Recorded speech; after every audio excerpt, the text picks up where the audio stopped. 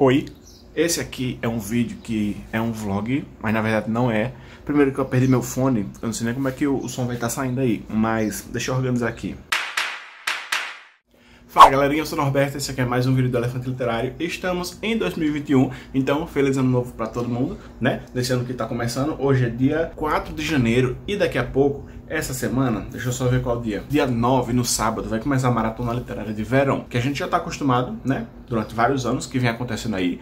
Vitor Almeida do canal Geek Freak aqui organiza. Se você não tá sabendo de nada do que tá acontecendo, eu vou deixar o vídeo de apresentação aqui nos cards e vou deixar no box de descrição também, certo? Na maratona tem times que as pessoas se dividem e esse ano tem o tema de deuses do Olimpo, e são três deuses que encabeçam esses times. Cada deus né? De acordo com a lenda que se reza, é um booktuber, só que ninguém sabe de nada até agora. O que se sabe é que, teoricamente, outros deuses se juntaram a esses deuses e cada um desses deuses menores tem um desafio para cumprir, né? E, teoricamente, você tem que escolher um time para participar. Eu tô, assim, tô dizendo que tô no time do deus Poseidon, porque porque eu quis.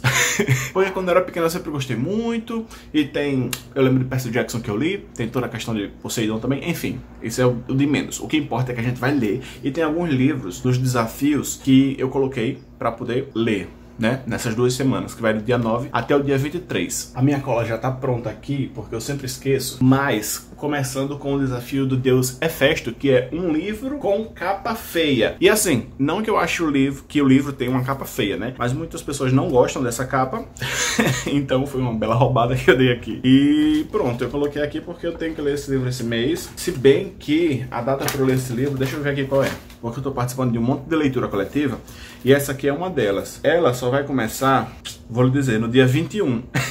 Dois dias antes de terminar a maratona. Mas aí eu já coloquei aqui no desafio para completar durante a maratona, porque eu vou dar uma roubada também, talvez começar um pouco antes, porque eu não sei se eu vou conseguir ler esse livro todo em dois dias, para os dias 21 e 23, que é o livro Blade Runner, nessa edição que eu tenho aqui com essa jacket, strap, como é o nome, eu não sei o nome disso aqui não, que nessa versão aqui, original, né, foi publicada primeiro com o nome de Android Sonham com Ovelhas Elétricas, quem sabe, eu não sei. É um filme já, tem muita gente que gosta, tem muita gente que diz que dá sono, mas não é um livro muito grande, é um livro que tem suas 270 páginas, a diagramação é um pouco apertada, talvez seja maior do que eu esperava, talvez. Mas vem aí, esse mês. Esse livro aqui é para o projeto Lendo Dick, que Márcio do canal Leitor97 está organizando. Vou deixar o link dele aqui no box de descrição também. Tem um grupo no Telegram que as pessoas estão lá se reunindo para ler. E não vai ser só esse livro, não. Né? Esse projeto vai acontecer ao longo de vários meses desse ano. Outro desafio é o do deus Apolo, que diz o seguinte: um livro que não seja no formato de romance. Daí pode ser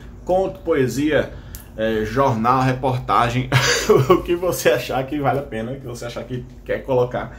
E eu vou ler este livro aqui, o volume 1 do box de Sherlock Holmes, que é esse que tá bem aqui. Mas eu não vou ler o livro todo, certamente, porque aqui tem dois romances e um livro com vários contos tudo aqui dentro, né? Eu acho que começa mais ou menos na metade do livro. Na página 250, mais ou menos, começa a parte dos contos. E eu acho que eu vou ler um ou dois contos desse livro aqui. Provavelmente os dois primeiros, para depois ler na ordem e eu saber onde é que eu parei. Os primeiros são Escândalo na Boêmia e A Liga dos Ruivos. Um tem umas quase 30 páginas e outro tem 32 páginas. 32 não, 22 páginas. Ou seja, vai ser tranquilo de ler isso aqui. Acredito que um dia, um, um dia, acredito que num dia eu termine esse aqui para concluir o desafio de Apolo. Aí tem mais dois desafios para Maratona Literária de Verão, porque ainda tem outros livros que eu vou ler em janeiro, fora esses, né? Inclusive vários livros desses que ainda vão chegar, são livros de leituras coletivas que eu já encaixei na maratona para ver se ia dar certo. Desafio de Artemis, um livro relacionado à natureza ou que tenha elementos da natureza na capa. E eu selecionei para esse aqui a Bússola de Ouro de Philip Pullman. Olha isso aqui aqui, minha gente. Reflete, brilha mesmo, brilha como a luz do sol. E tem animais. Tem um sagui, um, uma águia, um passarinho aqui, uma, uma sariema, um urso, um suricato, uma borboleta, um, um, aquele bicho que anda no meio do mato, uma raposa, um gato, tem uma arma de bicho aqui dentro. Ainda tem uns galhos, não sei o que. Isso aqui é uma leitura coletiva também, quem tá organizando, se eu não me engano, quem tá na organização é Jaque, Tico do Menino que Lê, Abner e Eduardo do Literamundo. Vou deixar as informações que eu souber aqui no box de descrição também, mas aí vocês vão atrás do canal desse povo para participar dessa leitura. Que começa, não começa no começo da maratona, não começa dia 4. A leitura desse livro só vai começar dia 17 de janeiro, no meio da maratona, não é isso? ao cachorro no meio da maratona, dia 17. E o que tá acontecendo é que eu vou ter que fazer uma reorganização aqui nos livros, porque a maratona como começa dia 4, e para eu não furar a largada da leitura coletiva e segurar até o dia 17, eu vou começar, começar não, continuar a leitura que eu já estou fazendo de Uma Vida Pequena, que é um dos livros que eu também encaixei para um dos desafios da maratona, que é o desafio um livro que contenha um casal. E, enfim, vários casais, né? Nesse livro aqui, já era de se esperar que tivesse, porque desse tamanho aqui, se não tivesse um casal, pelo menos, seria um livro diferenciado. Então, nesse momento, eu estou na página 256 de 784, mais ou menos. Não quero ler ele todo, assim, se der para ler, eu quero. mas não pretendo ler ele todo na Maratona Literária de Verão, mas durante o mês de janeiro inteiro. Ou seja, até o dia 31 estamos aí com esse livro. Pendente, esse aqui a gente tá lendo em Body Read também. Eu e uma ruma de booktuber. E vai dar certo. Vem aí. Só que esses são só os livros da Maratona Literária de Verão. Esses quatro, na verdade, os livros dos desafios que tem da Maratona Literária de Verão como se já não bastassem serem grossinhos, né? Porque esse verde aqui não, não considero todo. Tem um desafio de leitura coletiva, desafio assim, né? De leitura coletiva de cada deus, de cada time da maratona. E o desse, do deus Poseidon, a leitura coletiva de Porém Bruxa, de Carol Kiovato, que é um livro que eu tenho no Kindle faz, ó, vários meses, várias pessoas já leram, disseram que é muito bom, e agora pretendo fazer parte desse time de pessoas que gostam do livro também, quando pegar para ler. Aí a gente vem com as outras leituras de janeiro, as próximas leituras. Deixa eu ver aqui, porque agora eu tenho uma, uma agendinha, tô organizado, escrevo tudo aqui. as coisas, para não me perder, porque no computador às vezes eu esqueço, ó. Eu acho que isso aqui vai ficar mais fácil de enxergar. Ei, Uma Mulher no Escuro, eu já li esse mês, Show. Aí vem Sombra e Ossos, é um livro que eu vou ler ainda esse mês. Inclusive, tô começando a leitura hoje. Tô começando, não, vou começar hoje mais tarde, hoje, segunda-feira, dia 4. Vai ter uma live de abertura do projeto de leitura coletiva do Grisha Verse, com o livro Sombra e Ossos. A gente vai ler os cinco livros: Sombra e Ossos, é, Ruína e Ascensão, é, Sol e Tormenta, é isso? E aí os dois outros que são Six of Crows e Crooked Kingdom, para ler tudo e terminar a tempo da série que vai ser lançada se eu não me engano, em abril. Janeiro, fevereiro, março, abril. Maio. Ou é maio? Não sei não. Mas vai ter leitura coletiva hoje, sete e meia da noite. Sete e meia da noite, se não for sete horas, sete e meia, lá no canal de M. Eu vou deixar aqui embaixo no box de descrição o link do canal dela. Se já tiver pronto o link direto pro vídeo, eu vou deixar também. E aqui nos cards, conforme as coisas estiverem prontas e disponíveis. Certo? Essa leitura coletiva vai acontecer, então, durante todos esses meses. Sombra e Ossos é um dos livros que eu vou ler também nesse mês de janeiro. Outro livro é Sol e Tormenta, né? Que é o segundo, continuação de Sombra e Ossos, do mesmo projeto da leitura coletiva. Participem, né? Se vocês ainda não leram, se vocês querem ver a série, tão curiosos com esse mundo de Li Bardugo. Daí tem O Ceifador também, que é outro projeto de leitura coletiva. Em breve, informações aparecerão aí internet afora. Estou com o livro aqui em mãos o ceifador em janeiro. Aí eu não sei como é que vão ser os outros, não tô sabendo no momento. Eu, porque eu sou perdido nas informações. Talvez sejam um por mês, uma a cada 15 dias, veremos. Mas eu já vi que a diagramação dele é bem boa, inclusive.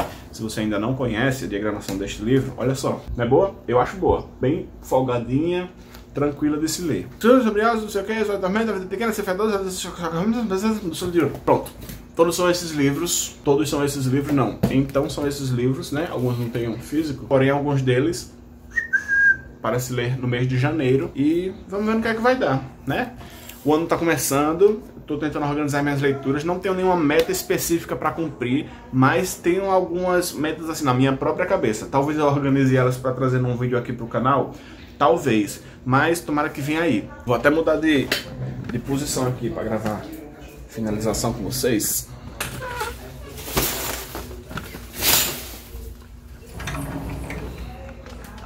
Agora sim, iluminado mais uma vez para dizer a todo mundo que tenham um ótimo 2021, que a gente não se preocupe muito com as nossas leituras, vamos lendo sem pressão, o que a gente quiser, o que a gente gostar. Se você não conhecia ainda este canal e conheceu agora, né, esse normalmente não é o formato de vídeo padrão que eu faço aqui. Eu tô mexendo na câmera porque eu ia voltar para ali, mas eu, no meio do processo eu decidi que era melhor ficar aqui mesmo. Não o, o formato padrão de vídeo, porém eu lembrei que eu tinha que publicar esse vídeo e ainda não tinha gravado. Então vocês estão vendo a minha baguncinha aqui atrás E é isso que a gente tem por hoje. Muito bem-vindo se você chegou aqui no canal agora em 2021, acompanhou o Elefante Literário. Nós somos muito gratos por ter acompanhado todos os inscritos aqui. Que esse ano seja maravilhoso para todo mundo, assim, na medida do possível, porque a gente sabe que o ano vira, não reseta e fica tudo perfeito, né? As coisas ainda vão se arrastando. Porém, estamos aí na ansiedade de sermos vacinados e estarmos reunidos em breve numa Bienal, quem sabe? Talvez. Então, se você chegou até aqui neste ponto do vídeo, deixe seu comentário aqui embaixo dizendo se vai participar da Maratona Literária de Verão, o que é que você vai ler, se você tem alguma meta específica para esse ano de 2021 nas suas leituras, quais projetos você quer ver aqui no Elefante Literário, o que é que você gostaria de ver de vídeo aqui neste canal. E fica ligado nas redes sociais que aparecem de vez em quando aqui embaixo. E se for comprar alguma coisa, inclusive, usa o link aqui do canal porque vai ajudar muito a continuar a produção de vídeos e de conteúdo aqui pro YouTube, tá certo? Além disso, deixa o like aqui embaixo e fica esperto em tudo que tá rolando aqui no Elefante Literário, que em breve a gente se vê. Até já já, valeu!